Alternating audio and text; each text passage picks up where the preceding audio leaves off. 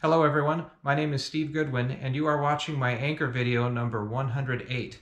In it, we will examine my testing of this 45 pound Mantus M2 anchor. It did come out at 44 pounds on my scale and in the setting position, the tip came out at 20 pounds for a tip to total weight ratio of 45%. Remember the highest tip to total weight ratios of any anchors I've tested uh, are the roll bar Mantus anchors and they run as high as 50%. Mantus M2 anchors are a two-piece design. The shank is simply cut from steel plate and it is very high-grade steel. And I'll mention that the scantlings are plenty generous. We've got plenty of height, good and wide, and it's a pretty short lever arm, so I have no problem with the strength of these shanks. The fluke is made from two pieces. Uh, basically, the forward half is cast, and you can see some roughness. I'd, I'd imagine this is a sand casting, kind of a high volume item, so it's not very precise. And indeed, the opening or the slot that the shank fits into is, you know, it's not a, partic a particularly precise fit. I will say that once you get the bolt in and all snugged up, it does force the shank over to one side. Now on the smaller 17 pound Mantus M2 that I featured previously, even after tightening the bolt, there was a bit of wiggling in the up and down mo motion, uh, but that's not the case with this one. Uh, this anchor, once everything gets bolted up, seems to lock in quite firm. Now I believe the idea with the design of the shank connection is that this notch takes the majority of the stress when uh, under a normal load. However, the bolt does receive some shear, and unfortunately, they've used a bolt that is not a smooth shank. We see threads all the way, and in the case of the smaller Mantus M2 anchor, after fairly high pull testing over a thousand pounds, I noticed that the threads had actually dug into and deformed the galvanizing in the hole. Now I don't see that with the bigger anchor. However, I've only pulled with the same force, just over a thousand pounds. So, uh, you know, it's a bigger bigger surface area, and we didn't didn't get any indentation. Later, when I start pulling harder, maybe we'll start to see something. Um, in any case, a, a, better solution would be a smooth shank bolt, but they are just hard to come by. To get the the exact length of smooth, followed by threads in just the right place, that almost sounds like a custom machine shop job. In any case, it is generously sized. Uh, it's a 5 8 inch bolt, and while someday maybe these threads may sort of flatten out, I think it's highly unlikely that you would shear this bolt.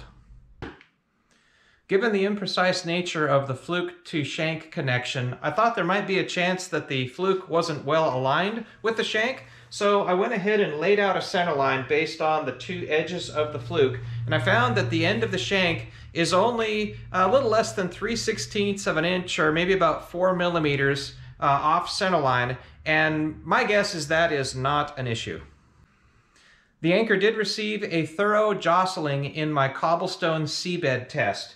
Uh, that's the test where if a galvanizing is going to have problems, it'll show up there. And I can report that only one spot has a, a piece of galvanizing missing. It's right there on the fluke. And frankly, I think there might have been a glob or I don't, I don't know how galvanizing process works, but um, seemed like there was maybe something there that shouldn't have been there under the galvanizing. Uh, in any event, everywhere else, all these leading edges, everything's intact. Uh, part of the success of that is likely due to the well chamfered corners everywhere, all over the anchor. There's just not one place where there's a hard edge corner. The chain attach hole can accommodate likely shackle sizes. Here's a 3 8 shackle. Fits no problem with no binding. Here's a 7 16 no binding, and even a big half inch shackle fits no problem, no binding. I'll mention that the new category where I test an anchor's self-launching power, this anchor is at the top of the pack. Uh, this this angle and the way the weight is distributed, it has a ton of self-launching power. There'll never be a need to give this a kick or a shove to launch. Okay, that's enough shop talk. Let's get out onto the water and see how the anchor performs.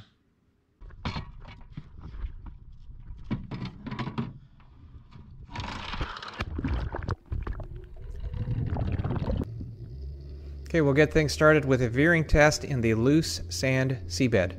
I am ramping up power to a baseline pull of 840 pounds, and when I get there, I then allow the boat to start swinging to port this time. It'll be veering about 2 knots. I'll let it swing through 180 degrees. We are watching the playback here at 8 times normal speed, and the anchor's forward motion is very little. It's doing, doing real well. It's just basically pivoting around, just a tiny bit of forward motion. I think the anchor is uh, basically in the lower part of the screen, or the anchor shank. The boat is toward the lower part of the screen. Again, it's moving to port. I think that line in the sand that's just below the tether, that's about where the shank is, and it's moving. The shank's moving mostly sideways. Once the boat gets through 180 degrees, I stop moving I stop the boat's sideways motion and then ramp up power to the max the boat can pull, which is at 1,150 pounds. And it's very good, just a tiny little bit of motion. I've only tested a few of the larger sized anchors here. Uh, the Knox and the Viking were the other two, and this is as good as those others.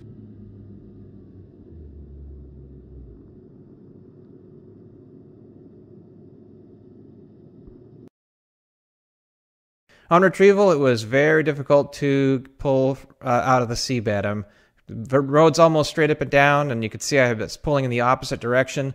Took a lot of force, and the anchor was very well buried. Now, normally on these veer tests, seabed impacts into the side of the fluke on sort of the side that the veer was was happening, and in this case, there should be more seabed on the right, but in fact, there's more seabed on the left side. It's all good from the top side. Oddly,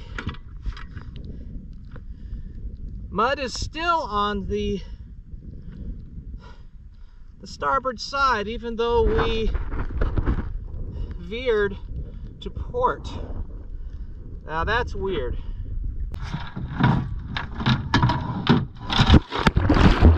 Next test is in the cobblestone seabed. My strategy for testing here is to use enough chain, uh, lots of chain, so in effect we have an infinite scope. I don't ever want to see this chain lifting up off from the seabed. Get nice apples to apples comparisons, even if I'm using a different boat. And this is pretty typical. The anchors normally take a while before they find just the right rock to get their toe under. I cut out a bunch of that. Let's just get right to the punchline. This is up at the higher the higher uh, pull that this anchor can can do here. And this, I, I, must say, is very, very good. There's only one anchor that does better. That was that recently tested 51 pound Viking. It held uh, quite a bit more than this, but uh, so this is the number two anchor uh, for this cobblestone seabed here. And it's pretty clear what makes an anchor work, and it's a really tall shank because the, the horizontal part of these shanks, it's impossible for any anchor to get that to force down through the rocks. So by having that horizontal part of the shank really high means the fluke can penetrate really deeply. So 500 pounds is what it would hold, and then bumped up to 580, things start to, to move.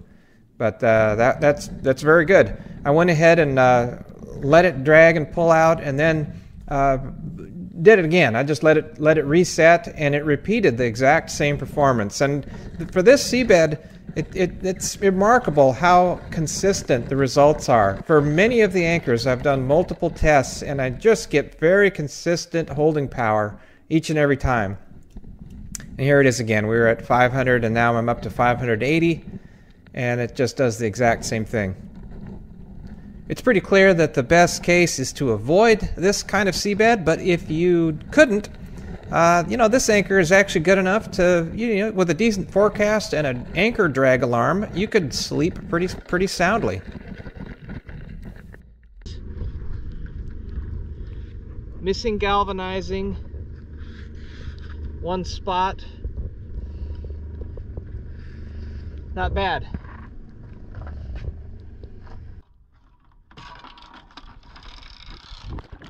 Next is a veering test in the soft mud at Scow Bay. Now I've chosen to use a 500 pound baseline pulling force for the large anchors here in this seabed. Uh, this is only the third anchor that's been tested as such. and it, it has a little trouble. It, it really can't hold the, the 500 pound baseline well. You can see I'm, I'm getting up close to the 500 pounds here. We're never going to see the bottom on, on any of these pictures, but if you look at the camera tethers, they're now sort of moving downward. Well, that's actually the, the anchor moving, and the, the water force on the camera is pushing the camera rearward with respect to the anchor. But didn't didn't didn't really hold the 500 pounds and then i started to veer and right away within about 10 or 20 degrees of veering the boat speed increased beyond two knots and i chopped the power and discontinued the test the other two 45 pound range anchors that i've tried to do this veering test with uh, were the knox and the viking and they both did much better once again we see mud on just one side of the fluke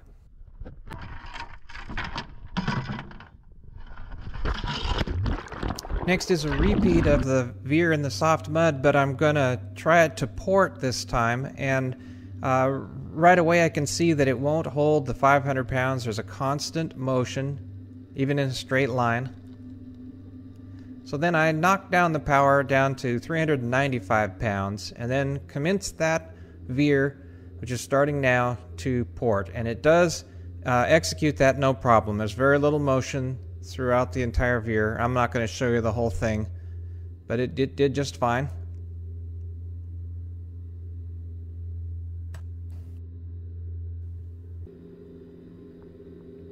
Here's the very end of that 180 degree veer. The camera tether does get captured and the camera starts pulling downward, gives us a chance to see uh, exactly the motion relative to the seabed. and then I that that power reduction and then it increasing again. That's my signal that the that the veer is over, and now I'm just pulling straight and increasing power. And above 500 pounds, this anchor never stops moving. It just keeps going uh, faster and faster. And uh, the up at 690 pounds, the boat was moving two knots or more, so I, I cut things off at that point.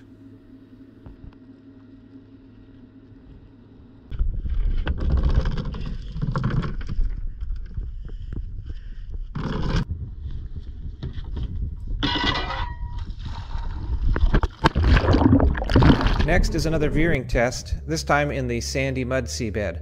I have executed or conducted this test with all the other 40 to 50 pound range anchors. So we'll have good apples to apples comparisons. It is an all rope rode with generous scope.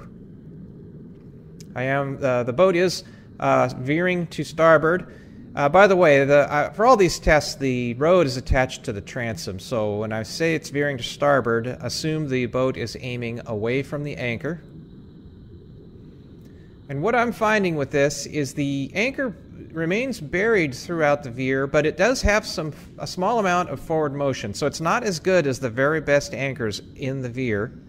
And then when we straighten out and just pull straight ahead, the anchor has uh, quite a bit of motion. Again, it's uh, there's anchors that do worse, but uh, the very best have almost no motion for this stage. Note that the anchor is listing and it's failing to right itself. It's also got a little bit of a trajectory. It, it, the anchor is sort of aiming one direction where the rode is off in another. And I can tell you, I was very careful. The, the boat is not veering at this point, it is just pulling straight ahead. I have a theory, and I'm going to go into this more, especially on the workbench when we're done looking at the underwater footage. I believe there is a bit of asymmetry to the fluke. It's, you could almost call it a manufacturing flaw, and I believe it is responsible for this behavior that we are seeing. And I've got quite a bit more more evidence to back that up. I'm not absolutely certain, but I, I think there is a, a flaw. And I was not expecting this much motion from the anchor. It, um, you know, it's it's certainly not bad, but I, again, I was expecting it uh, to be a, a little bit a little bit more solid in its holding. If you recall from the 17-pound Mantus M2 veering test, it's a bit different. It's it's less scope, but it uses a very heavy chain, and it only uses 500-pound baseline thrust during the veer. But it had kind of a similar amount of motion at this same straight line pull. Um, well, okay, it was it was more motion, but it was kind of in the same ballpark. I just would have expected a, a 45 pounder to do much better.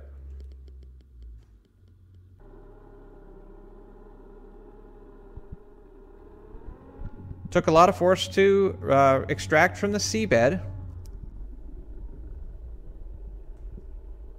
And note that there is mud only up against one side of the shank. And that was the direction of the veer, which is understandable. That's going to have more mud compaction.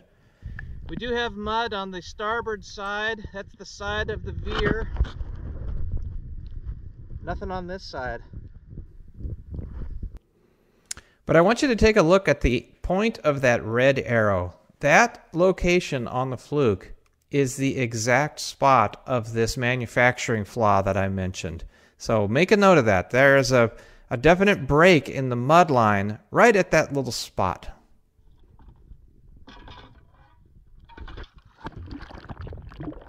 Next is an exact repeat of the previous test. I, I felt there was a, an, enough of a uh, enough movement there to warrant that maybe there was uh, an anomaly, maybe a, uh, uh, something we couldn't see under the seabed was affecting the anchor.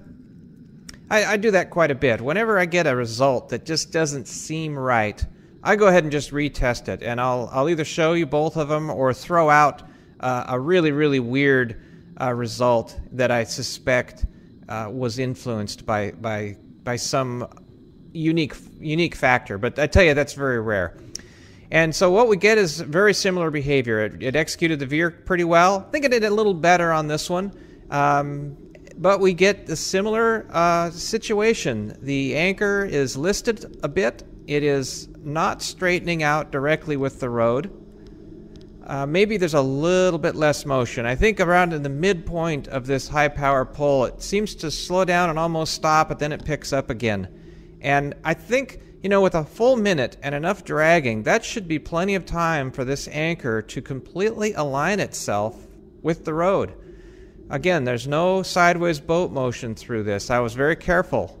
Uh, there's, I, I just think there's asymmetry in the loading of the anchor.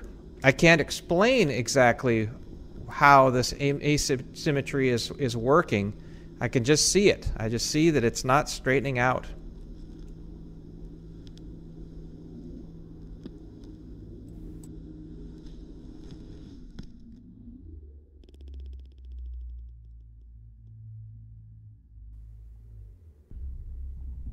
Once again, on retrieval, we see mud packed into the one side of the shank. Yes, that was the side of the veer, but there was a good minute of straight line pulling. You'd think we would have mud washed, uh, you know, perfectly symmet- symmetrically on either side. And once again, the trailing edge of that mud coincides perfectly with that slight manufacturing flaw that is only on that side of the fluke.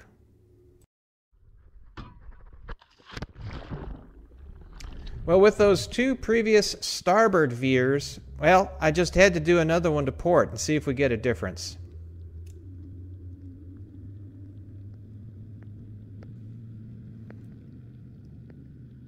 And a difference we most certainly do see.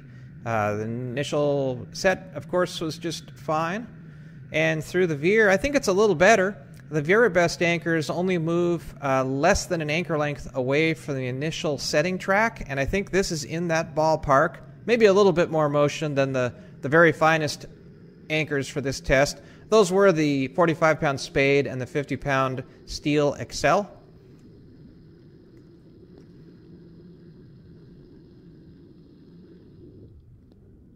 So I think that's a that's a better veer than those previous starboard rotations.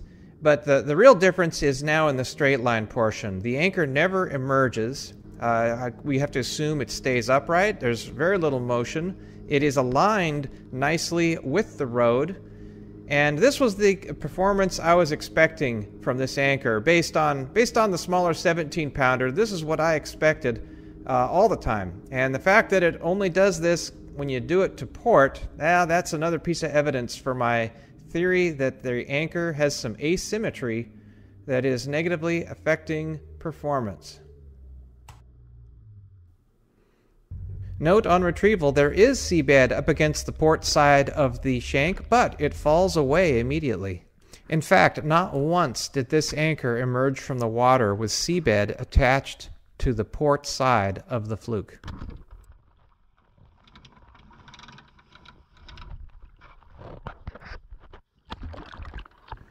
Next is my 180 degree reset testing. I actually conducted this test 10 times for the short chain version and then another 10 times in the long chain condition.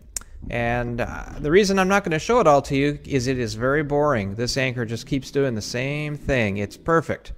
Uh, short chain resets result in a backflip virtually every time. And every time the anchor rotates and immediately reconnects with the seabed. It's beautiful. I do give the anchors a, a pretty good burst of power after they reset. It's over 500 pounds, but it's not quite the high power pulling as those veer tests, and indeed, no seabed impacts into the fluke.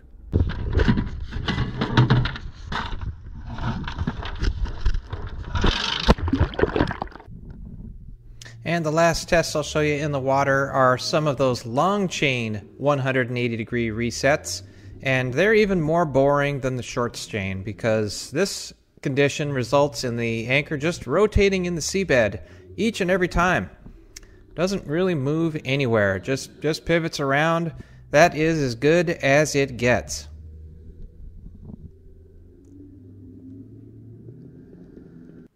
Okay, let's get right to this alleged flaw. Those red arrows that I gave you, they were pointing directly to this joint here. And what this is, is the interface between the forward cast part of the fluke and the after plate section. There's a weld joint right between, and if I put a straight edge on here, I don't know if you can see it, but there's a gap between the straight edge and the forward part of the fluke surface. It's about an eighth of an inch. Also, if I put the fluke or the straight edge longer, now there's even a bigger gap. Now it's, gosh, a, a, full quarter inch. So not only is there a variation in the actual joint here, the entire surfaces are not at the same plane. The other side is much better. The, the, the top and the, the, the top surfaces are at the same position. Plus, we put the straight edge on and there's just not nearly as much of a gap. If we look at the 17 pound M2 that I tested a couple weeks ago, it is dead flat, perfect alignment, both sides. I raved about this anchor. It dominated the field, really. It's it, it worked better than much larger anchors, and I just had a wonderful feeling about it. The 45 pound version, just not as much. Part of that is because of the competition. Um, in the case of the 17 pounder, uh, against the 17 pound Excel, it really did a lot better because the, the small Excel had trouble in the soft mud. However, the big Excel, it does really well in the soft mud. So again, part of the reason this is not going to be at the top of my charts is because the competition did, did a bit better. But now this this anchor, I, I, was disappointed with that that sandy mud veer, and I really think this is uh, a, a, a big reason for it. Remember that in all those retrievals, not once was there mud present on this side of the fluke. Each and every time there was mud, it was here, and it didn't matter if it was a, a veering test or whether the veer occurred in this direction or that direction. So there's no question that this was hanging up mud. Here's another piece of evidence that that that I think is applicable. This is a 45 pound Rocna anchor that I tested oh several months ago, and frankly, this was the worst performing anchor I've I've ever tested in that sandy mud seabed. It was just truly awful. I noted a few flaws with it. The shank is not welded on correctly. It's off by as much as an inch that direction. Also, the anchor is secondhand and it looks old. This surface corrosion has a, a bit of texture to it, and when I got it, this wasn't smoothed out yet. So I believe mud was able to grab a hold of that roughness to a certain degree. Now, as you recall, I did my hole drilling trick and I pounded down the, the palm uh, flaps, if you will, and did get the anchor to work a little better. Uh, but there's another glaring flaw with this anchor, and it's this weld bead. It's not ground flat. It, it's this is how it was built at the factory, and that is a significant bump. Certainly about uh, in the in the range of the same height as the flaw on this M2, but instead of being just a small portion of the fluke, it's all the way across both sides. So you can imagine how bad I want to grind this off and retest the anchor. However, it's not going to be a great test. I, nobody wants to see this modified Rocna. They want to see a genuine Rocna. So clearly I need to get another example, a, a good, clean, straight, uh, unmolested 45 pound Rocna. It's on my list. Uh, com compared to the 22 pound Rocna that I bought, it's, it's quite new. No, no, no, no problems with the galvanizing. It's very smooth. These welds are smooth and flat and the shank is nice and straight. And this anchor did much, much better. It's, I mean, it was still low compared to the best anchors, but it was in the ballpark. It would, it would not mud foul every time. I, it would reset okay. It just had reduced holding power. This anchor, before I modified it, it was just abysmal. It, the first set was okay, but after that, it just really wouldn't work at all. What to do with this anchor? I'm not inclined to pound this out or grind this down. I think I'm going to let Mantus, the, you know, they provided this anchor, so my, my policy is to not molest anchors unless I get the blessing from the person or persons who sent it. So I'll let them decide. Maybe this is within their tolerances and they're just going to say, hey, that's the way it is. Maybe they're going to say, hey, get that out of there, and they'll send me a new fluke. Fine, I'll, I'll do whatever they want me to do. I'd like to clarify that all this talk about mud sticking to flukes applies to cohesive type seabeds only. Uh, loose sand or soft muds, other kinds of near liquid-like seabeds, that's not really an issue because nothing can really have a three-dimensional shape stuck to the anchor. Uh, so again, if you may have, you may love your Rocna. Maybe you're in places with with clean sand, maybe in the tropics, and it just always works. And you may be just looking cross-eyed at these these mud tests where the anchors don't work, and and you just don't know. It just doesn't apply to you. Well, that that's why uh, it's a it's a cohesive type seabed is what we're talking about. Okay, flawed fluke or not, let's see how the M2 stacks up against the other anchors on the ranking chart. Uh, far right hand total average column, the M2, uh, second place, uh, 4.1, and only the Excel number 5 is better with a total score of 4.2. But if we look at the in-water tested performance column, the M2 is not as powerful. Uh, three anchors are better. The Viking 20, Excel number 5, and the 44 pound Spade are all better in all around in-water performance. Uh, note that the Ultra and the Mantus M1 tie the Mantus M2. So the, certainly the M2 is among the very best anchors, but it is not a challenge for in-water performance to the very best. Okay, overall it's a solid performance. It's a very good anchor. It wasn't quite the home run that the 17 pound M2 was in my view, uh, but, but very good nonetheless. Um, maybe my my theory about the the little flaw in the fluke, maybe it's for nothing, and that's as good as it gets. Maybe it could be a little better. All right, I want to thank everybody once again for watching and for donating. For those that haven't, and you want to keep these completely independent anchor tests coming, maybe you use my information to help you make your anchor purchase. Uh, do consider throwing a few bucks my way. It all adds up. Uh, links to Patreon and PayPal in the description below. Thanks for watching. As always, anchor safely. And uh, oh, before I go, next week it's the 45 pound Lewmar Epsilon anchor. I know a lot of people have been anticipating that. I've actually got the testing all done. I just need to edit the video. Till then, so long.